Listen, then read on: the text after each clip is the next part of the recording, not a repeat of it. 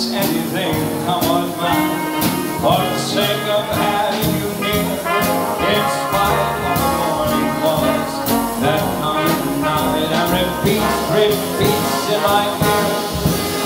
Don't you know you've got no chance to win.